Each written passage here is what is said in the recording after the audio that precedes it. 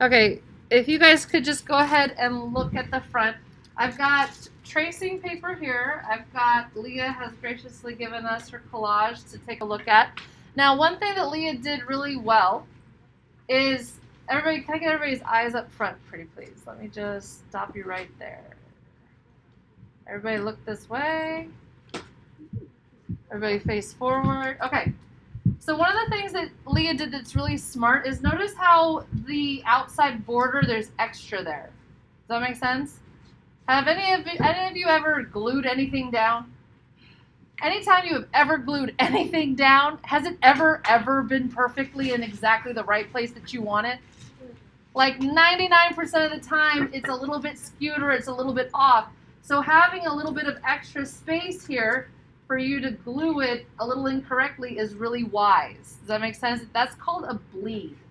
In the art world, giving a little bit of extra space around a design um, for, margin of error is called a bleed. You want that extra space, that bleed. Okay? So what I've got here is I've got her design, I've got tracing paper, I've got um, carbon paper, and this right here is our collage packet. So if you go to the second page of your packet, we have been collecting our imagery. And right now, um, some of you are still doing four and five simultaneously. Today, what I'd like you to do is to get to the place where Leah is.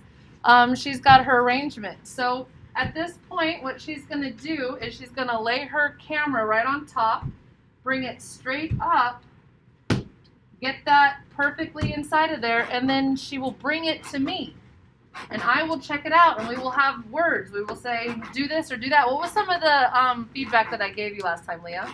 Um, I think one was to add a little bit of white here because it was hard to see the transition, right? Yeah. So when she had originally shown it to me, see how it's kind of hard to see? So I was able to give her a little bit of feedback.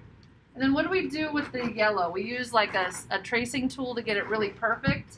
Um, so I'm able to give you a little bit of feedback at that point, okay? Once I give you a feedback and your composition is to both of our satisfaction, we both like it, it's now time to figure out how the body, the person's figure, is going to fit in to this page. So what you're going to want to do is very gently lay your tracing paper on top and just guesstimate about, and you can use, I can use my sense of touch here. I can feel where that ridge of that paper is. And it doesn't have to be perfect, perfect. You're just going to draw the major basic shapes and where it is. Does that make sense to everybody? So now I have the basic shape, the basic composition. And at this point, I can figure out how do I want to put a person's body in this picture. I can even use some of this leftover space to figure that out. So maybe one idea is to put the person like right here front and center. Does that make sense? I could put the person really big. It's on the rule of thirds. Think about your composition. Now in this composition, she's already got something right here. So maybe I put the person's head down here a little bit smaller. Or I could use that as like that circle. I could put the head right in front of it so it's framing the person. Or I think this is what we had kind of talked about and decided last time she was going to do. She could put, like, depending on what your secret is, she could put, like, a person actually in the moon. Does that make sense to everybody? So figure out how you want to compose and how big your person's going to be. Then when you get one, if this is the one that you want to do, you're going to start, whenever we learned how to draw, what's the first thing we start with when we're drawing?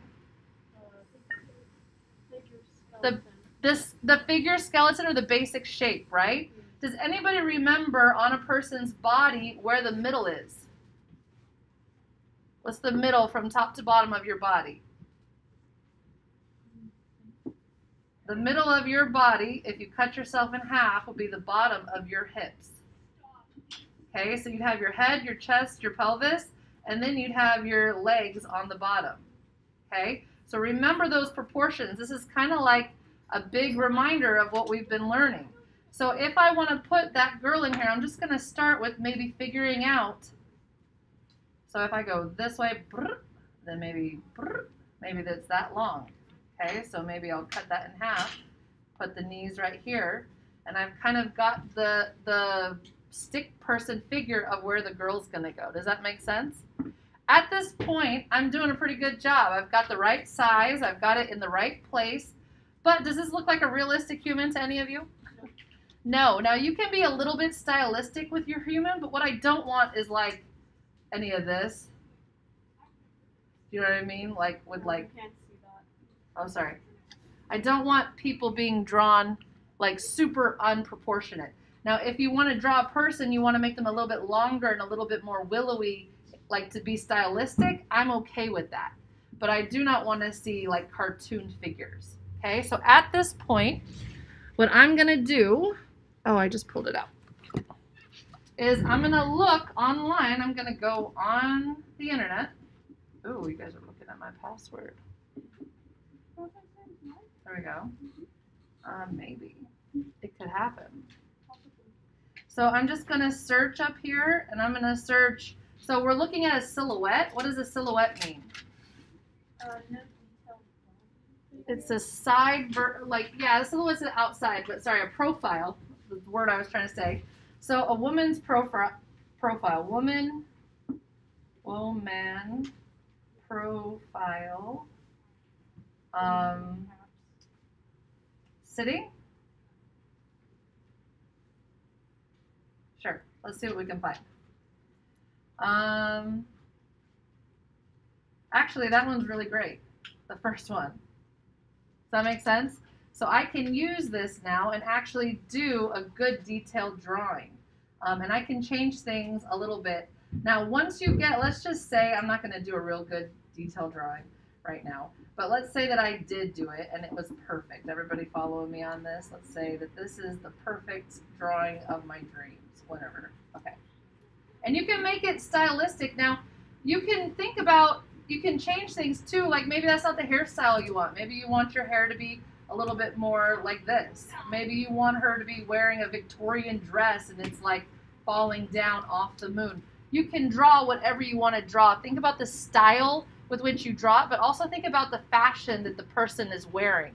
Remember, to be school appropriate, they need to be covered from armpits to two inches below the butt. So that means no midriffs, no boobies, no pelvis. Okay? Uh, well, they should have all those things, just covered. all right. So at this point, let's say that I'm, I'm just right here on this piece of paper, I'm drawing it perfect. Can we all pretend that this is my perfect drawing? Yeah. At this point, you need to change it from this scrap piece of paper onto a final piece of paper. Now, I have all kinds of cardstock over here. So let's just say I someone used this last period, so I'm just going to use this so I don't waste. But remember, I've got a whole bin full of weird, cool um, papers. You could do it on encyclopedia. You could do it on a, a book, whatever.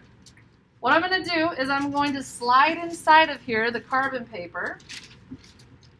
And I would use a ballpoint pen for this so that you can tell what you have and haven't pressed hard down on. Which I guess I need a ballpoint pen. And they're all right here by the pencil sharpener. And so remember, this carbon paper, when the black side's down, you don't have to press very hard to leave a, well, that didn't leave much of a mark, but if I use my fingernail, it will. So that left a mark right there that's very hard to see, but it's there. And so you will trace this, and it doesn't even matter if your pen's working. Um, it just matters that whatever you draw, you're pressing hard right there. Okay, that was terrible, but you guys get the point. Here is my drawing. And so at this point, it would have details and whatever else in it. You can cut this out and it becomes a part of your collage. Does that make sense, everybody? Any questions? A really important step that a lot of people ignore is that stinking photo reference. How many of you know for a fact that you can draw better with a with a reference in front of you? It is the truth. Can I get an amen? Amen. Yeah, there we go. Okay. Any questions? Anybody got a question? Did I miss anything? Serena? No? Did you have a question? Sid?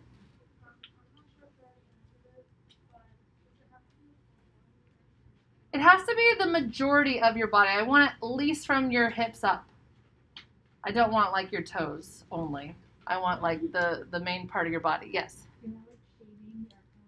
Now, how you decide to do it is totally up to you. Like this drawing right here, I could decide to do like some killer ballpoint pen shading on here because you guys have learned how to do that. I could decide to just use a Sharpie pen and trace it um, and make it like I could make some lines a little bit thicker. I could give it like a style. You can get really cool with it. Does that make sense? You could take a pencil and shade it really great. That's up to you. But the pencil shading is going to look a little bit awkward with these hard black outlines from the carbon paper.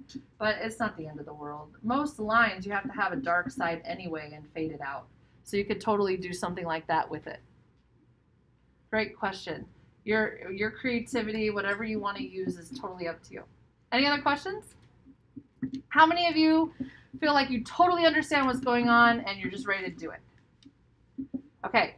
How many of you feel like I'm just going to wait and ask the person next to me and see what they're doing and then I'll follow along? How many of you feel like you're lost in the wilderness and you're like, what are scissors? All right, then let's do it.